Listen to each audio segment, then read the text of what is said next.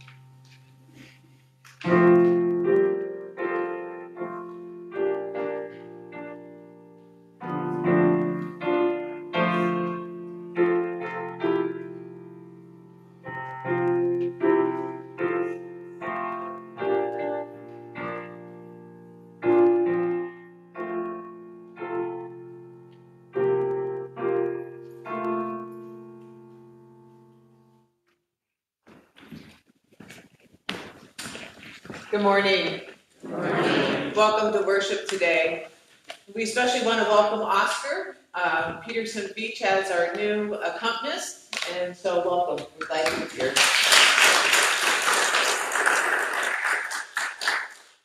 I also want to thank Linda for the beautiful flowers today that is adding to our worship service. I hope that you find today's worship service meaningful, where we'll give God glory and we'll come together at the communion table and be reminded of God's promises in the wine and the bread. I invite you to stand as you are, oh, one more announcement. Um, Melissa's on vacation this week in the office, and I will be here in the office on Monday and Wednesday this week. So um, if you don't get an immediate response or you don't hear Melissa's friendly voice when you call, that's why she's on vacation. So um, I invite you to stand as we begin with our confession and forgiveness of sin.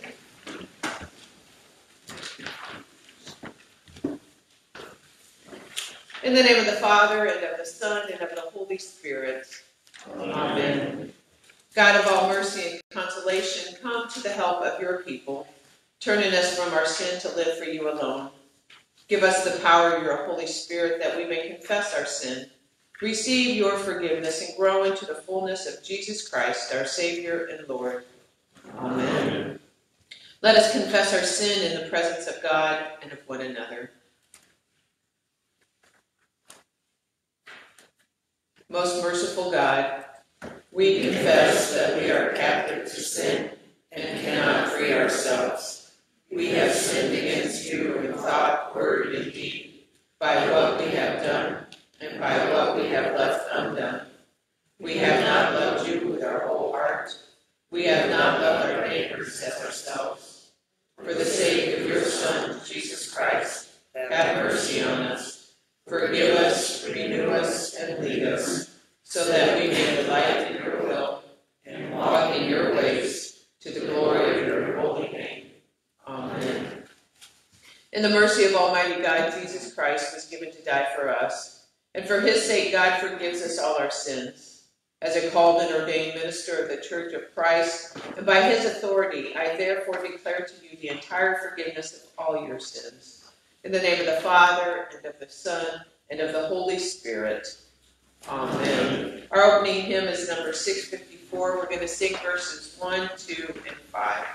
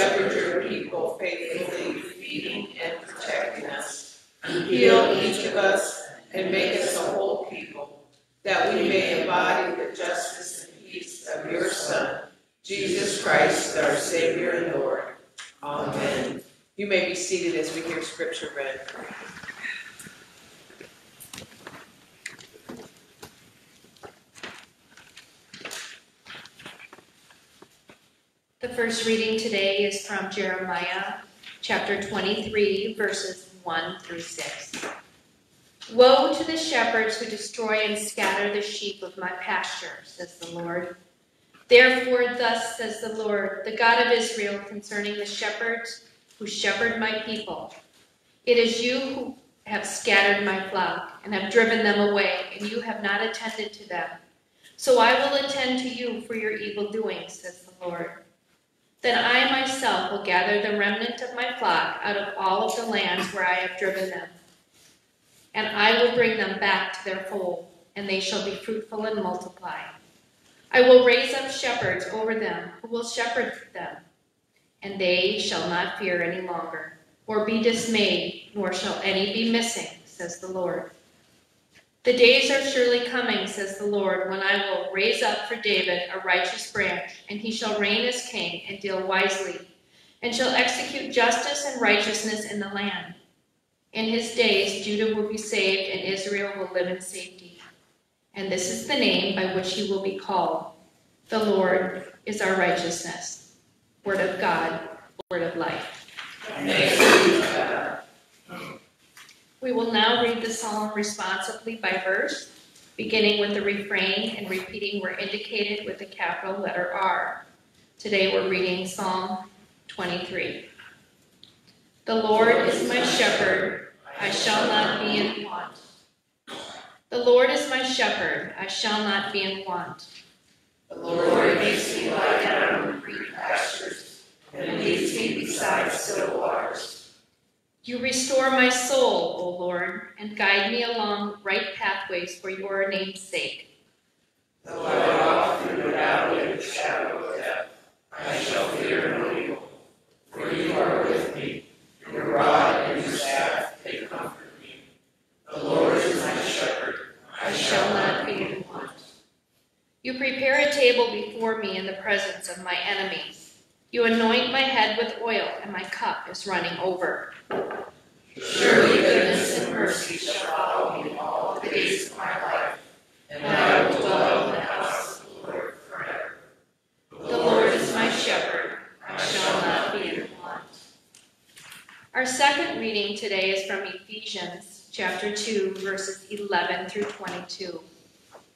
Remember that at one time you Gentiles by birth, called the uncircumcision, by those who are called the circumcision, a physical circumcision, circumcision made in the flesh by human hands. Remember that you were at that time without Christ, being aliens from the commonwealth of Israel and strangers to the covenants of promise, having no hope and without God in the world. But now in Christ Jesus, you who once were far off have been brought near by the blood of Christ. For he is our peace in his flesh, he has made both groups into one and has broken down the dividing wall that is the hostility between us. He has abolished the law with its commandments and ordinances, that he might create in himself one new humanity in place of the two, thus making peace, and might reconcile both groups to God in one body through the cross, thus putting to death that hostility through it. So we came and proclaimed peace to you who were far off and peace to those who were near. For through him both of us have access in one spirit to the Father. So then you are no longer strangers and aliens, but you are citizens with the saints and also members of the household of God, built upon the foundation of the apostles and prophets, with Christ Jesus himself as the cornerstone. In him, the whole structure is joined together and grows into a holy temple in the Lord in whom you are also built together spiritually into a dwelling place for God. Word of God, word of life. Thanks be to God.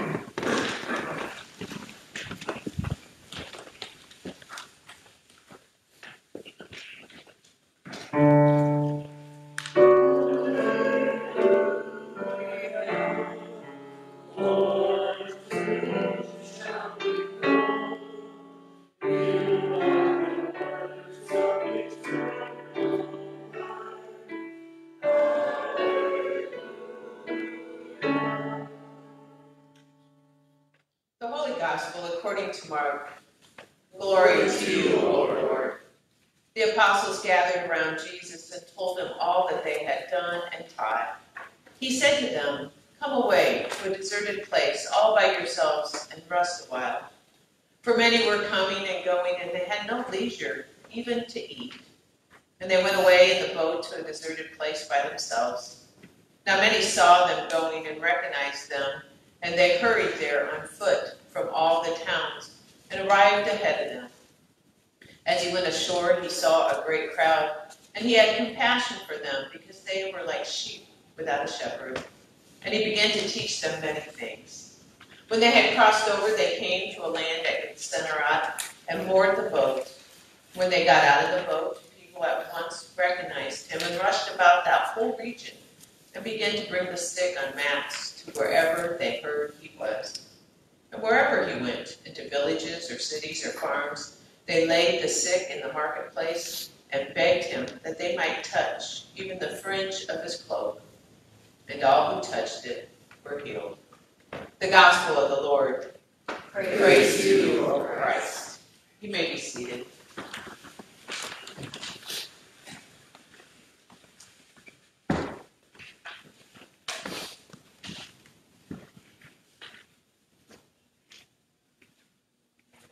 Grace to you and peace from God our Father and our Lord and Savior Jesus Christ. Amen. Well, it's hard to believe, but it's midsummer already. There are still lots of summer activities that I want to do, but either the weather or my schedule hasn't cooperated. One of the things that we haven't attended yet this year is the free outdoor music every Thursday evening in downtown Moline. I've heard that whenever downtown LeClaire has been had live music, it's been packed as well. Many people just enjoy outdoor summer concerts. I have a friend whose favorite week of the year is the Mississippi Valley Fair. It's no longer allowed, but they used to sleep in line so that they made sure to be in the very front row at all the concerts. Uh, that is the last thing that I would want to do. Sleep on the ground, be around all those people for a full week. It's just too much. Well, Jesus knows something about all the crowds. Our gospel reading today began with Jesus and the apostles in the midst of a crowd. Why is Jesus drawing such a great crowd? As you'll recall, a few weeks ago, we heard the story where Jesus sent the disciples out two by two to imitate Jesus, to do the work that Jesus had been doing, casting out demons, curing the sick. Obviously, the news has spread about Jesus and Jesus' disciples and their healing power. People wanted to come and see for themselves, or they desperately wanted to receive the miracle of Jesus' healing. Jesus and his disciples were so busy tending to the people that they didn't even have time to eat. Jesus knew that this was hard work, and he said to the disciples, Come away to a deserted place all by yourselves and rest for a while. But they were not even able to do that as the crowd saw them get into a boat and they ran ahead on foot to beat them there. Despite the need for the disciples and Jesus to have rest, we're still told that Jesus had compassion for them because they were like sheep without a shepherd, and he began to teach them many things. I don't know if you noticed, but our gospel reading for today is split into two sections. In between what we read are two other popular stories. First, all those crowds that go ahead on foot to get to Jesus find themselves in a deserted place with no food, and Jesus fed them. It's the story of the feeding of the 5,000. And after feeding all those people, Jesus sent the disciples ahead again in the boat so that he could go up to the mountain and pray. While the disciples are in the boat, a storm came and Jesus walked to them on the water. He joined them in the boat and continued on their way. Then we have the second part of today's story. where they crossed over to Gennesaret and encountered the crowds again. Jesus was recognized and people brought him the sick to heal. We're told, though, that Jesus not only healed people when he got to the shore, but wherever he went, into villages and cities and farms, people were bringing him the sick. And they begged him that they might touch even the fringe of his cloak, because all who touched were healed. When Jesus healed someone, though, it wasn't just a physical healing. He also healed those who are shunned socially. When they were healed, they were restored to community. Some other people would charge for medical treatment, but Jesus didn't. So Jesus also crossed over not just physical borders or social borders, but economic ones as well. When Jesus healed, Jesus brings wholeness. Jesus brings restoration. Jesus brings complete healing. I'd asked my friend once why she uses her vacation for fair weeks and for all the other concerts that she travels around and attends. I said, What's so attractive, or in her case, addictive, about concerts? Her first response was, I don't know, I just like them. But then she went on to talk about the whole experience. For her, she says there's something about being in that front row, watching the performer dance and work the crowds. She said it was just something that you have to experience. The people flock to Jesus because they experience something different in Jesus there's an attraction because Jesus' healing transformed lives. People are changed by an encounter with Jesus. Jesus has compassion for the people, but he also knows the importance of rest for himself and for others. He not only told the disciples, Come away and rest a while, but he did it himself. He went away and prayed after feeding 5,000 people. do we know what it means to rest? The true, true rest that comes from keeping the third commandment. Remember the Sabbath and keep it holy. To those who first heard the Ten Commandments, this would have been unbelievably good news. As we'll recall, they were recently freed from slavery in Egypt.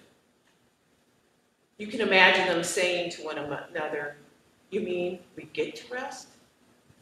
You mean we have to rest? Glory, hallelujah. Do you know the rest that comes from keeping a holy Sabbath? We live in a culture and a society where being busy is worn like a badge of honor. I know I'm guilty. I know we're still coming out of the pandemic, but when we're asked, How are you doing? the answer is often, Oh, I'm really busy. Work, the kids, caring for parents. And with our technology, it's even more difficult to take a rest as we can check on our emails or log into the work server from just about anywhere. There's nothing wrong with working, working hard and being good parents and supporting our friends and family. But sometimes we can get ourselves on that hamster wheel of life. And then we don't know how to get off.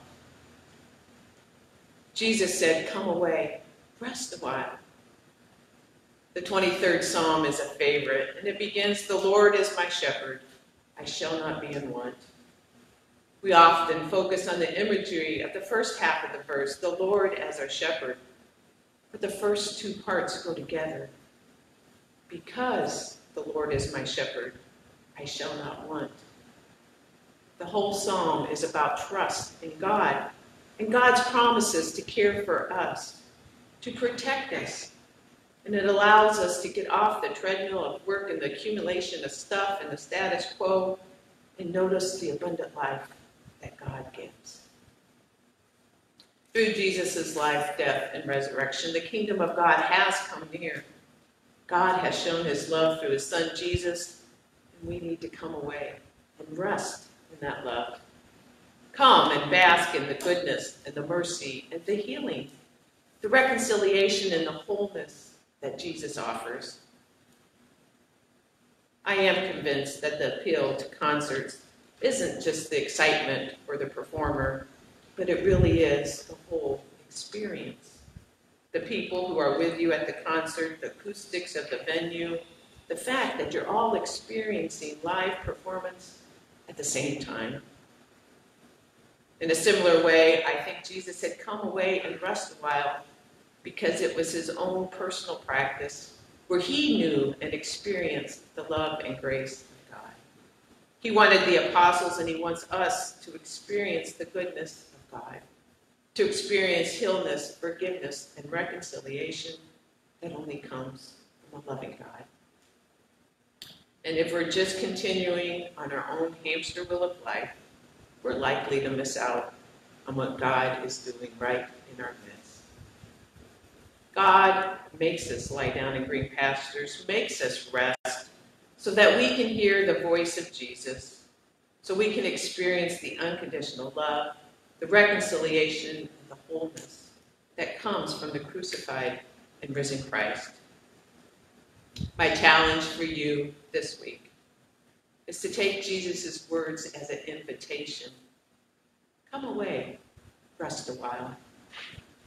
Spend time with God for your soul to be restored, or let the Lord guide you along right pathways.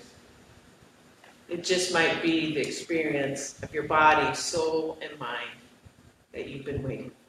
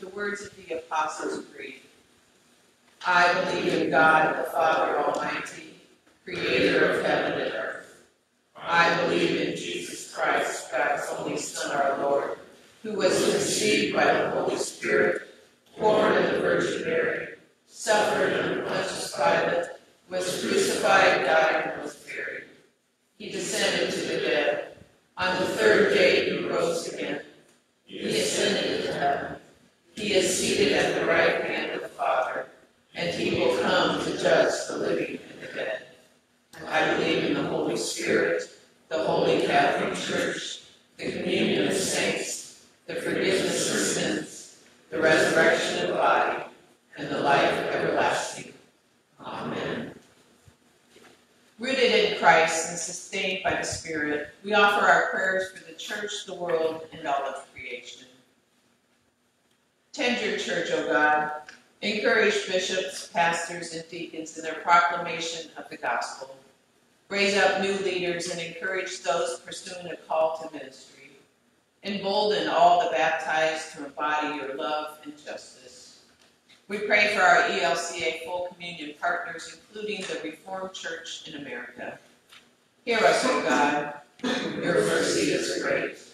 Restore your creation, O God. Sustain croplands and pastures and safeguard farm animals and livestock. Preserve lakes, rivers, and streams that offer refreshment. Revive lands recovering from natural disasters and protect coastlands and oceans. Hear us, O God. Your mercy is great. Reconcile the nations, O God. Break down the dividing walls that make us strangers to one another and unite us as one human family. Equip leaders to deal wisely with conflict and guide diplomats who seek peaceful solutions. We pray especially for the people in Cuba and Haiti who are experiencing unrest and seeking freedom to be governed justly. Hear us, O God. Your mercy is great. Heal your people, O God. Give rest to those who are weary, comfort to those who are grieving, and recovery to all who are ill, especially Daniel, Penny, Dave, Lynn Singson, Deb Sorjahan, Kathy Ion, Erin Ann, Debbie, Pastor Dell, Deb, Boyd, Janice, Sharon, Shirley, and those we name now out loud or in the silence of our hearts. Hear us, O God. Your mercy is great. Unite this congregation, O God. Renew our commitment to support one another and revitalize our ministries so that we may mature as disciples and share the good news with our neighbors. We pray especially for those who are celebrating birthdays this week Norman Sandberg, John James, and Catherine Ion, and for Glenn and Bev Singson on their wedding anniversary. Hear us, O God. Your mercy is great. You lead us home, O God. We give thanks to all who have died, now citizens with the saints, as you have received them into your heavenly home. So welcome all of us to dwell in your house forever. Hear us, O God. Your mercy is great. We lift these and all our prayers to you, O God, confident in the promise of your saving love, through Jesus Christ our Lord. Amen. Thank you for your generosity of your offering gifts that are given to Zion. There is an offering plate on the table in the back, and many of you I know give electronically or send it through the mail, and we appreciate that. Let us pray. Holy God, gracious and merciful, you bring forth food from the earth and nourish your whole creation. Turn our hearts toward those who hunger in any way, that all may know your care, and prepare us now to feast on the bread of life, Jesus Christ, our Savior and Lord. Amen. Please stand as you are able as we uh, prepare the Lord's meal.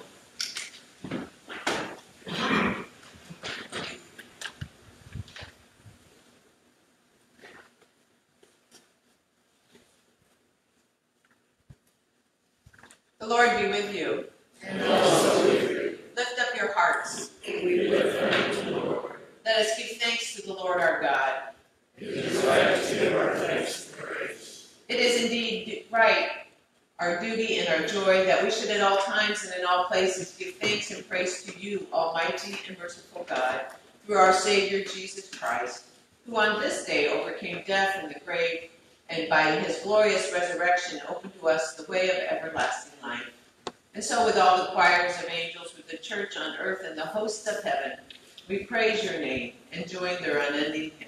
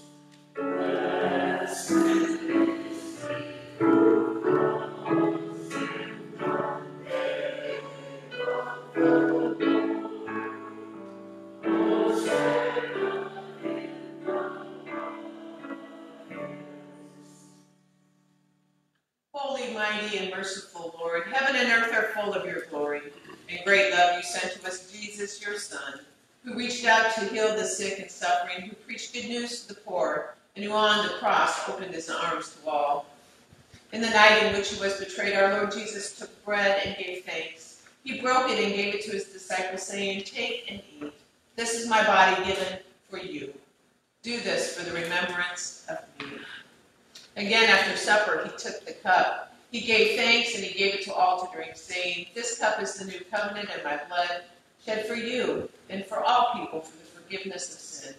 Do this for the remembrance of me. Remembering, therefore, his death, resurrection, and ascension, we await his coming in glory. Pour out upon us the spirit of your love, O Lord, and unite the wills of all who share this heavenly food, the body and blood of Jesus Christ our Lord to whom with you and the Holy Spirit be all honor and glory now and forever. Amen. Lord, remember us in your kingdom and teach us to pray. Our Father, who art in heaven, hallowed be thy name. Thy kingdom come, thy will be done, on earth as it is in heaven. Give us this day our daily bread, and forgive us our trespasses, as we forgive those who trespass against us and lead us not into temptation, but deliver us from evil. For thine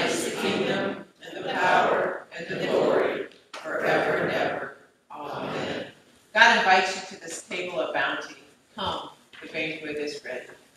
You may be seated.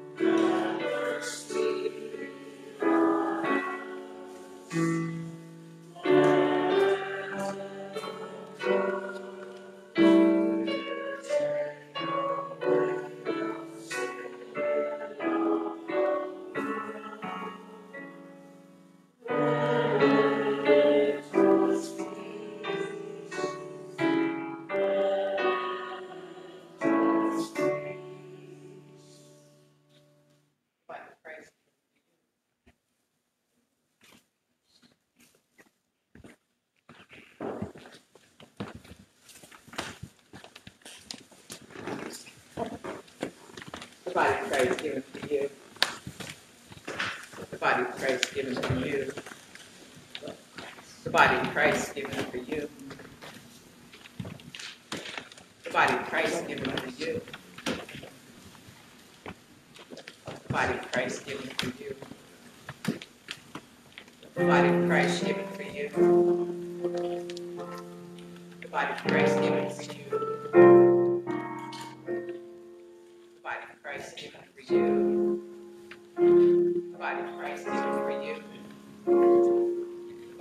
guys.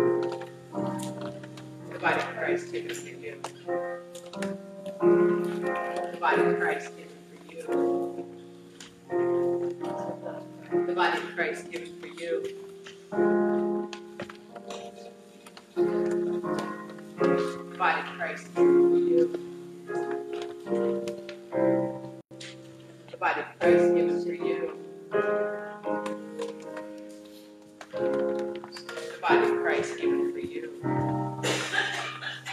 The body of Christ given for you. The body of Christ given for you.